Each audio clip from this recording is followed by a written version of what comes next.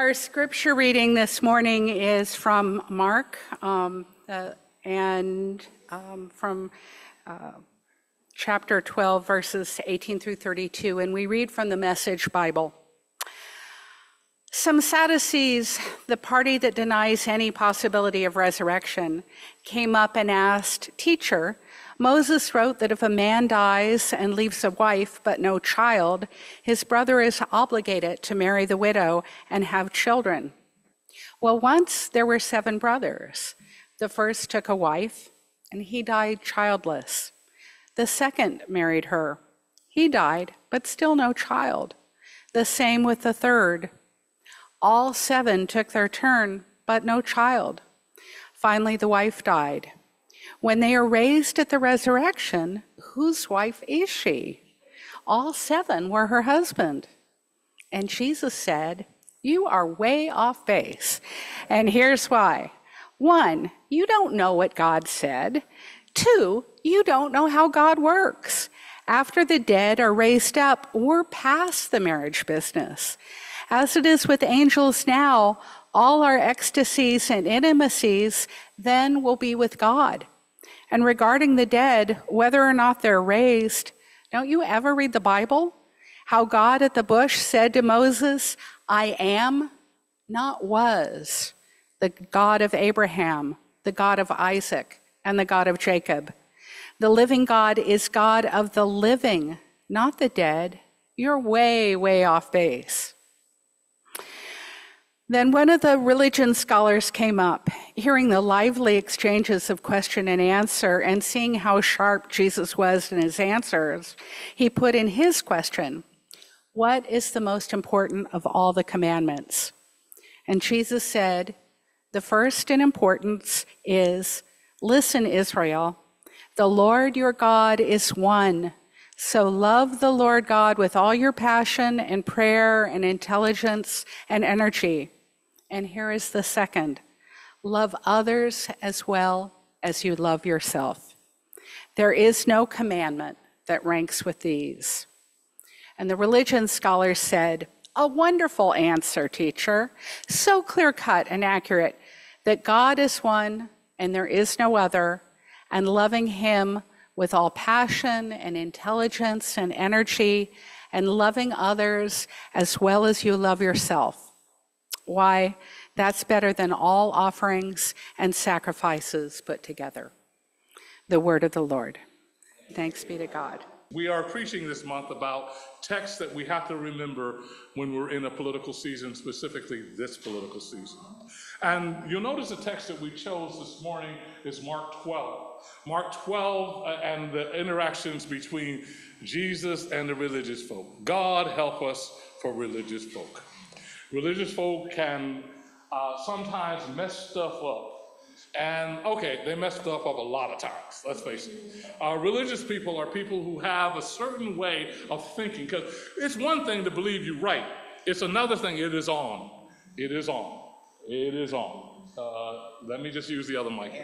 Let me use the other one. Um, I just love technology. Okay, religious folks are those folks who believe it's one thing to believe that you're right, it's another thing to believe that God told you you were right.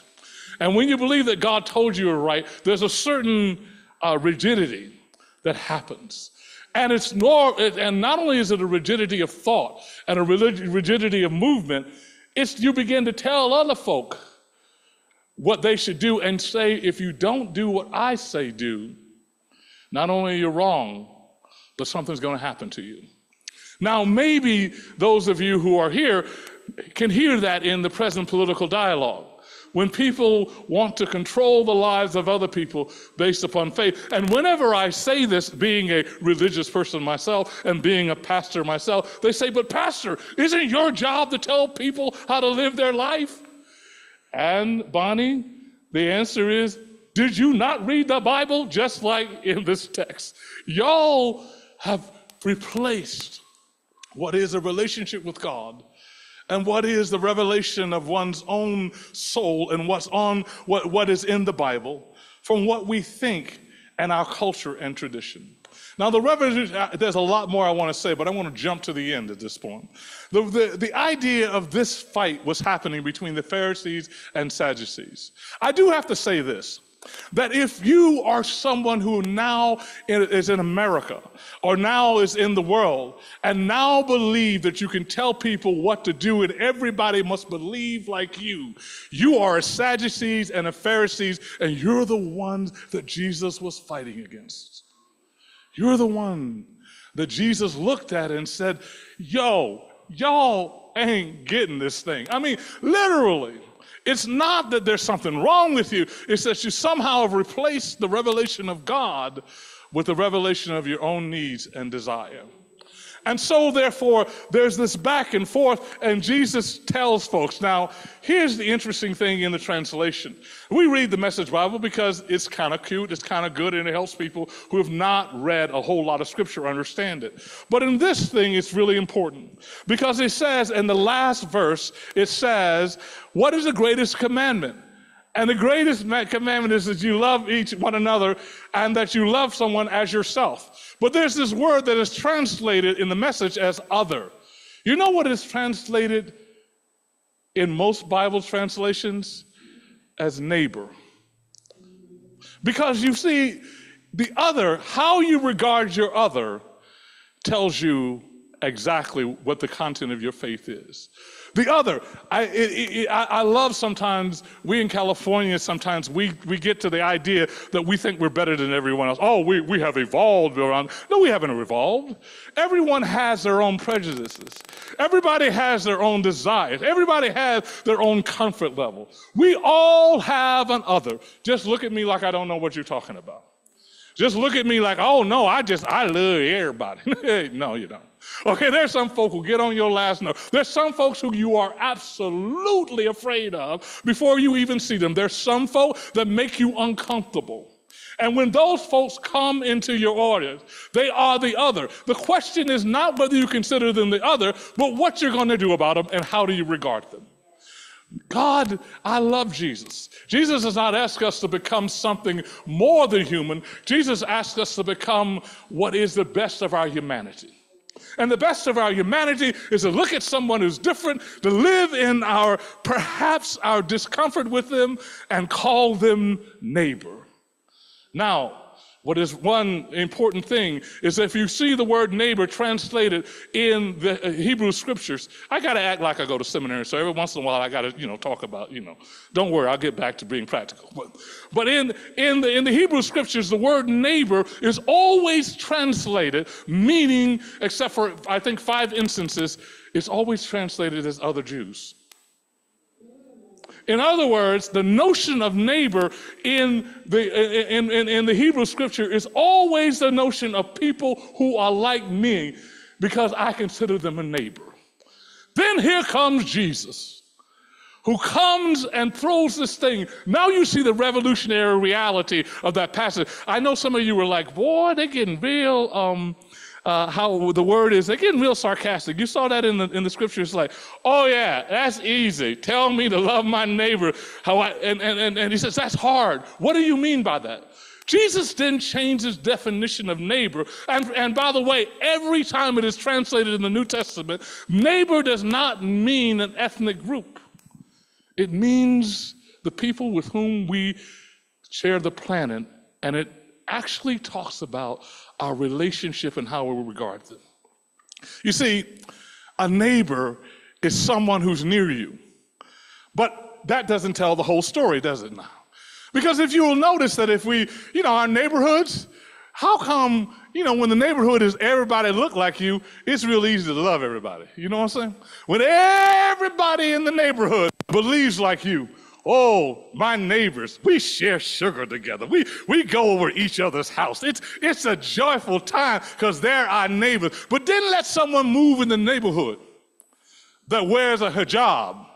Then somehow they're now what you're going to do about the neighbor. Do you treat them the same way as if you treated someone who was like you? Or let someone move in the neighborhood who looks at you and says, My pronouns are they. And you say, I don't want to be their neighbors. Because what you mean by neighbors is that you mean that you wish for them, not that they're like you, but they have the same quality of life that you have. They have the same abilities that you have. They are loved as if they are you. That's what a neighbor is. You know, when somebody moves in the neighborhood or, or different color or someone who have a different color, and then don't let somebody leave in the neighborhood. Now, all that's deep. But don't let somebody move next to you that plays music loud. Now, that's, that's too much. You know what I'm saying? Or who dog barks all night. You know what I'm saying? That's when the that's when it's a stretch, right? It's like, okay, you know, you know, they ain't acting right. You want to actually evict that neighbor because they're not like you. And we didn't take that kind of sense of neighborhood. And you notice that that is the national dialogue is what do we do when we don't all agree on everything? What do we do when there are people that are different from us? Some people's answer is try to get everybody to be like me. Hey, folks, I'm gonna let you know that ain't gonna work. I, I, look, I'm, I'm, gonna, I'm gonna tell you why it don't work. I mean, there's some deep, I can give you a deep explanation why that's gonna work, but if you try to make me a white man, that ain't just not gonna work. I mean, that's, you know, so, and there are other conditions in life, it's not gonna work, so you're gonna have to deal with the other, and the, it's how you deal with them. I want them to have the same life as me.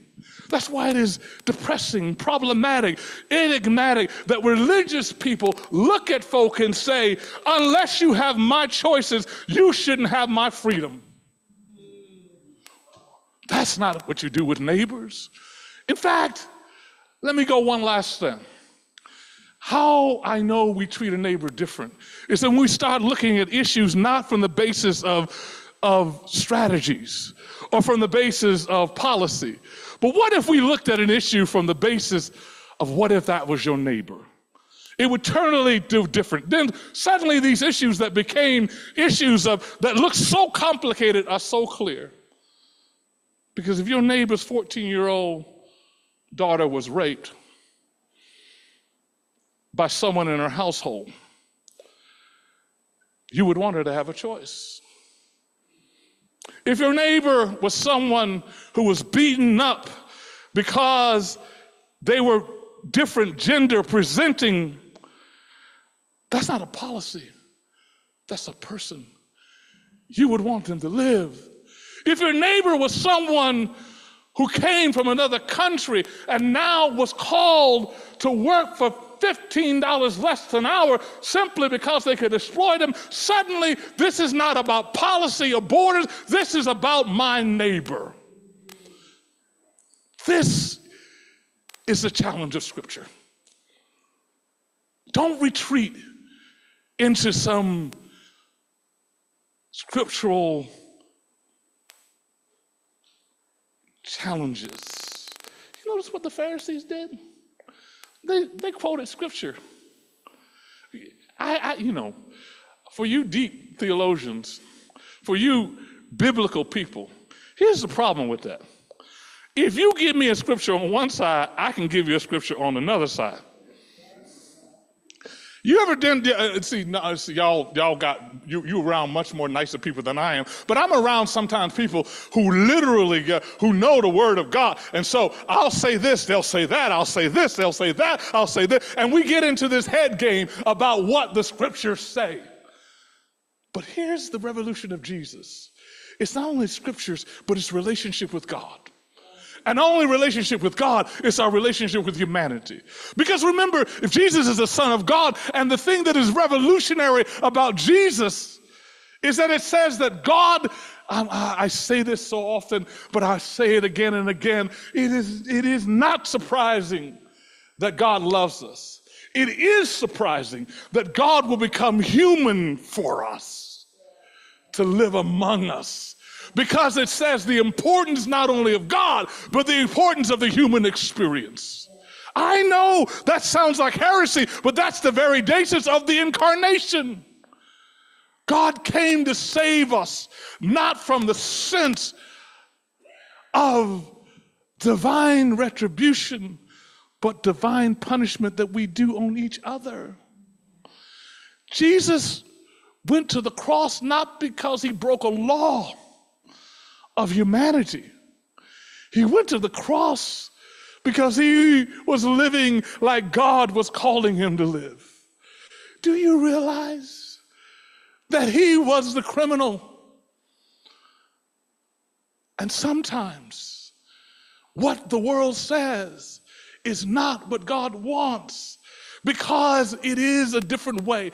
I suggest in this season where we're looking at Christians and Christianity that we are not to be like everyone else. We are to regard and look and say, what does the Word of God say? What does my connection with humanity say? And what does my, this is good, this is good Reformed theology, and what does my conscience say? And then I'm going to stand in that and proclaim that. And I don't care who else doesn't. And I'm going to engage with you because I love somebody enough to call them my neighbor. There was a dude who was also a Presbyterian elder. I was going to wear, if I didn't, if we didn't do today, I was going to wear a sweater, and I believe it was tennis shoes that he wore? Yes, and tennis shoes. Now, you got to be of a certain age to know where I'm going at this point. Well, he was a Presbyterian elder, and his name was Mr. Rogers. Mr. Rogers, he revolutionized children's ministry because he told kids, do not regard yourself in terms of a single family, but regard yourself in terms of a neighborhood. Mr. Rogers, he would look at the cameras and says, would you be my neighbor? Would you be someone that cares about me in the way that I care about you? And together in that caring, we change the neighborhood. We're struggling with that. Not only in America, but in Marin City. We're struggling with that. We used to be 80%, I believe, African Americans in the 70s, actually. We're now 20, 22%. How do you hold space for that? And continue to say together, how can we be a multicultural community? Not because of ethnicity, but how do we regard each other as neighbors? I don't want to just live next to you. I want to have a relationship with you. I want to love you. I want you to feel safe when you come home. Even if I disagree with you, even if you're loud, even if you're problematic, even if you have a different faith tradition, even if I don't really like you, I want you to have the same freedom and the same way of living that I do because that's what the Bible says I should do. That's what Christian understanding of what it looks like to have politics. Now, there are these great theologians that I could quote, so you know I'm, you know, I ain't this crazy guy. Okay, I'm maybe I'm a little crazy, but, but I just want you to know there are other people who said that. Then why isn't it so? Why isn't it so? It's not because people don't know it, it's because people don't believe in it and have the courage to stand. It's easy, and I'm going to be controversial here, to stand for DEI. It's easy to stand for inclusion in certain circumstances. But it's real hard when you, now, I'm not going to look at them by their ethnicity. I'm going to look at them as my sister, my brother, my sibling. And even though they may be crazy, I won't let you then mistreat them. I'm amazed at the left and the right. I'm amazed at how we treat one another, even in political debate. I may disagree with you, but I will never, ever, ever diminish your humanity because I disagree with you. I won't feel righteous indignation because I'm standing in the right place, but I'm having the wrong relationship. This is a hard thing. This is a difficult thing. This is what needs to happen at Tam High School. This is what needs to happen at every school in the country. That if that had happened in the Georgia school, what if the child who was clearly, clearly had issues. What if instead of saying, well, I hope they work it out. uh, well, the police talked to him. What if the community said, he's my neighbor? And I'm not giving up on this kid until I find out what's wrong and doing with it, because this is why I have to care. You think you can do this alone? You think that what happens to her and what happens to her and what happens to her has to have something with what will happen to you? You're wrong. This is why we do food pantry, not because we're trying to help those faux folk who don't have food or, or the homeless. It's because they are our neighbors. It's because we're connected. It's also because I am somehow responsible not only for what happens good in their lives, but if I'm also my neighbors, I'm responsible for what might have happened badly. See that one coming, didn't you? Because if we broke it, we can fix it. If, it, if it's our policy, we can change it. If the kid has been treated badly, we can love them to be better. I know the power, it, it has too long become faith or humanity. But that's not how the Bible looks at it in the incarnation. It's in the incarnation, it says that what we do matters. And it matters enough to change the world if we change the relationship with those in the world. What if Marin County, we are in the most segregated city. Not only, not only we are, the, Marin City and Marin County are the most segregated politically, socially, and, and, and economic in the entire state of California. We're number two, actually. We're not one, we're number two. What if we say, you know what, we can fix that? I will preach every Sunday against one thing that is the most corrosive thing cynicism. How dare you believe you don't matter? How dare you believe your faith is not something that it just helps you get through, it doesn't help you change things? How dare you believe that all of this Holy Spirit, all of this God, all of what we say is not given to us just to get through? It's given to us to overcome. You will hear me preach, and you've heard me preach. There's no movement that's changed America that started off with a good prognosis. Literally. Ask the women. They said, oh, they shouldn't have to vote. They said, oh, yeah, we will. Ask African Americans. Dogs. Oh, yeah, they will. It's not impossible. We have to believe. I don't want to change just the politics. I want to change the relationship. When I looked at little June today, I said, Wow, God, look at this. You've given us another baby in the world. And she's not here to simply live through the world. But the love and the power and the personality of that little one as she grows up will change everyone around her if we allow her to change us. Who is my neighbor? It's a beautiful day in the neighborhood. Would you be mine?